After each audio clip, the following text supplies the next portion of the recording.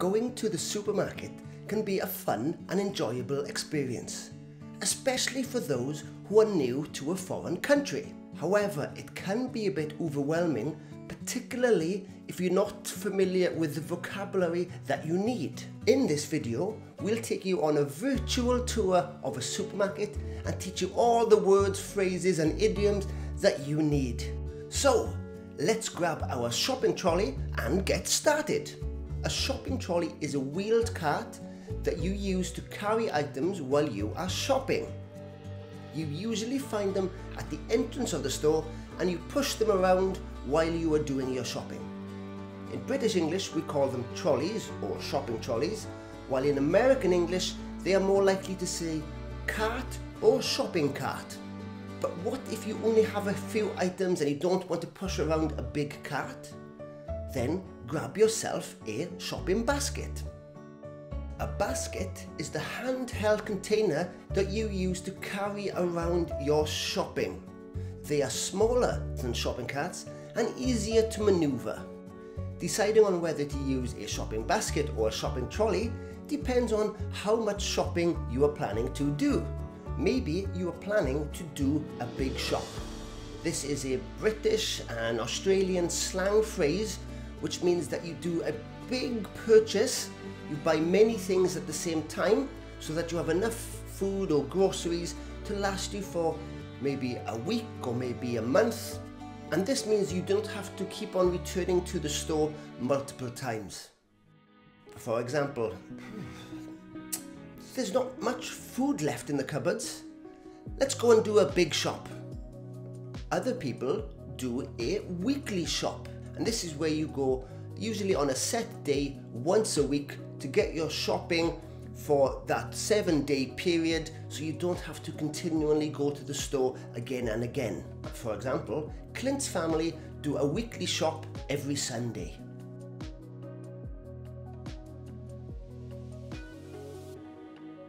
Okay, we've got our trolley. What are we going to buy first? Let's consult our shopping list and find out. A shopping list is a list of items that somebody wants to purchase at the supermarket or grocery store. I don't know about you, but I tend to be very forgetful and disorganized, so a shopping list really helps me with focusing on getting the things I need and making sure that I don't forget anything. A shopping list can be written down physically on paper, or it can be stored on your phone or tablet to take with you to the store. As we navigate the supermarket, you'll notice that the store is organised into long, narrow spaces called aisles. An aisle is a pathway where customers can browse and select products. For example, you can find the pasta in aisle 4 next to the canned vegetables. Listen to the pronunciation, aisle.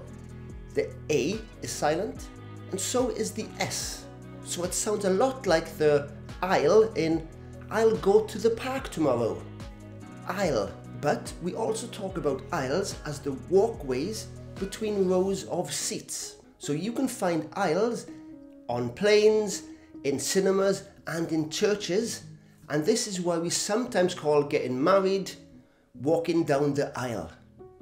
Okay, back to the supermarket. As we walk down each aisle, you'll see the products arranged on shelves.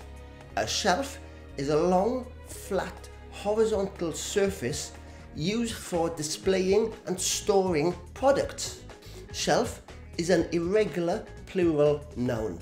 This means when there is more than one of them, we say shelves. There's an extra V sound. One shelf, two shelves. So be careful with the spelling and the pronunciation. Remember, aisles help you navigate the store, while shelves hold the products that you are looking for.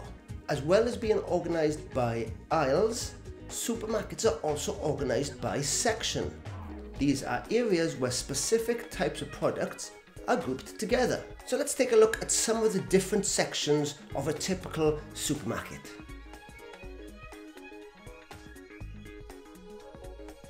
Usually, near the front of a supermarket, you will find the bakery section. The bakery section is where you find freshly baked bread, pastries, and other baked goods. And they're usually put at the front of the store so that that nice, lovely aroma entices you in and makes you nice and hungry so that you want to spend a lot of money in the supermarket. Most supermarkets will have a fruit and veg section. This is where you find fresh fruit and vegetables. Okay, while we're in the fruit and veg section, let's take a look at the pronunciation of the word vegetable.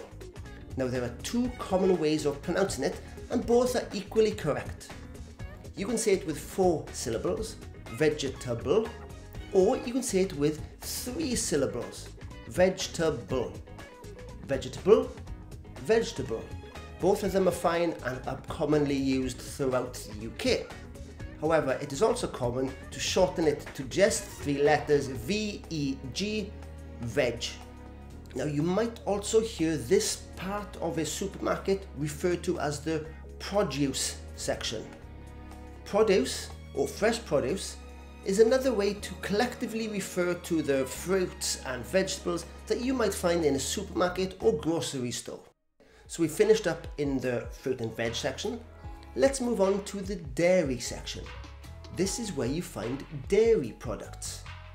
Dairy, which is an uncountable noun, is any food or drink which contains milk. So this includes milk, obviously, butter, cheese, cream, or yogurt, for example. As we continue our journey through the supermarket, let's make our way over to the frozen food section. This area of the store is dedicated to food items which have been preserved by freezing them so that they can last longer and that you can enjoy them at your convenience. In this section, you'll find a wide variety of food, such as frozen fruits, frozen vegetables, ready meals, ice creams, desserts, and more. In addition to the various sections of a supermarket, you can also find various counters. Now a counter is a long flat surface where specific products are displayed. These counters usually have employees who can help you with your selection, answer questions and prepare or package your food for you.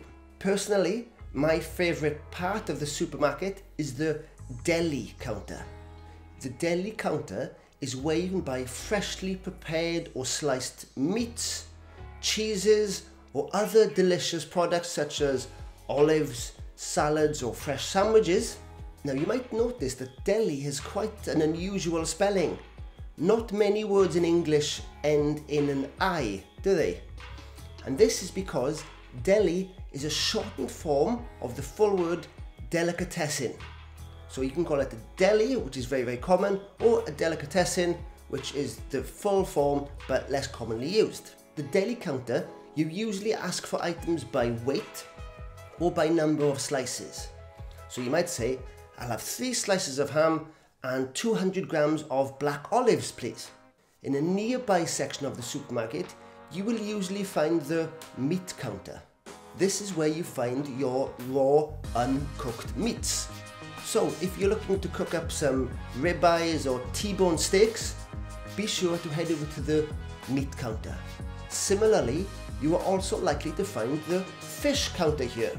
Now it's called a fish counter, but this is the area where we sell all uncooked fish and seafood.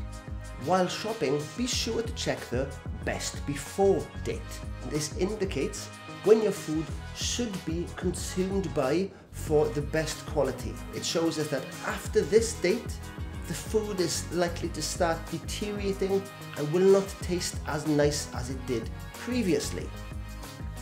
The expiration date or expiry date is different. This is the date after which you should definitely not eat this food. This is the date after which the food should not be consumed for safety reasons. We also have an expression where we say something is past its expiration date. If something is past its expiration date, then it is no longer effective, useful, or relevant. Now, we can use it about food in the supermarket that is past its expiration date, but we can also use it in a more metaphorical way. For example, my manager's ideas are past the expiration date. It's time to bring in someone new with fresh ideas. Now you might hear a very similar expression with a very similar meaning past its sell by date. For example, the computer software they're using is past its sell by date. It's time to upgrade. When you've completed your shopping and are ready to pay, it's time to head over to the checkout counter. Checkout counter is the full expression, but a lot of people will just say checkout.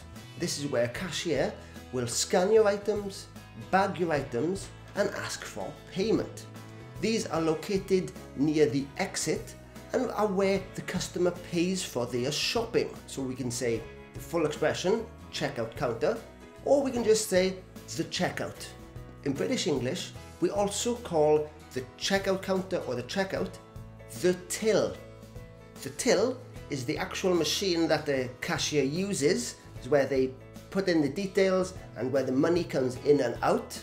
But we also use it in a more general term to mean checkout. So I paid at the till and left. The person who works at the checkout counter is called the cashier or the checkout assistant. They are responsible for greeting you, scanning your items, receiving payment, and sometimes they'll also help you bag your items. Okay, so we have put our items on the conveyor belt and the cashier has scanned them. Next, they ask us, do you have a loyalty card? Many supermarkets offer loyalty cards that allow customers to earn points or rewards for their purchases. These rewards include discounts, vouchers, or free items, and they can save the customer some money. However, they are designed to keep you shopping and loyal with one particular brand of supermarket. So when it's time to pay, the cashier might ask you, do you have a loyalty card? And you can reply yes or no depending on whether you do or not. Nowadays, you might also have the choice of a self-checkout. These are tellers or checkout counters without employees, without cashiers, and you have to scan and bag your own items. Over the last 10 or 20 years, these have become increasingly popular and you will see them in many large supermarkets. Okay, your shopping is done and it is time to pay. While of course you can use cash, a common method nowadays is to pay by card. And this is when you use your debit or your credit card to pay for your shopping. For example, oh, I, I don't think I have my money with me. I'll pay by card today. Once you've paid, the cashier is likely to ask you whether you want a plastic bag. A plastic bag is a disposable bag that is provided by the supermarket or store and enables you to take your goods home. In British English, it's also common to call it a carrier bag, and this is because it helps you to carry your bags home. Last but not least is the receipt. Now this is the list of items that you have purchased and their corresponding prices. Notice the pronunciation with a silent P receipt. Receipt. Okay, so we do not pronounce that P. Okay, well, there you have it, folks. We've wheeled our trolley through the aisles of the virtual supermarket. We've looked at various counters, various sections, and we've got a greater understanding of the vocabulary needed to guide our way through the supermarket. Before you go, here's a quick reminder of all the vocabulary we have looked at today be sure to write any new ones down in your vocabulary books and practice, practice, practice. So, whether you're doing a big shop or just picking up a few essential items, we hope that this guide has made navigating the supermarket a piece of cake. And of course, hit subscribe to stay up to date with all our English lessons. Now, in the comment sections, I would love to hear from you. What are your shopping successes? What are your shopping failures? going to the supermarket or to a new shop, a new store, when you are learning a language can be both exciting and a little bit nerve wracking. So share your stories. How did your first shopping in English go? Like, share, and subscribe for more vocabulary packed lessons. Be sure to click on our links here or here to find our vocabulary lessons on travel and eating at a restaurant. Happy shopping, and I'll see you next time. Bye.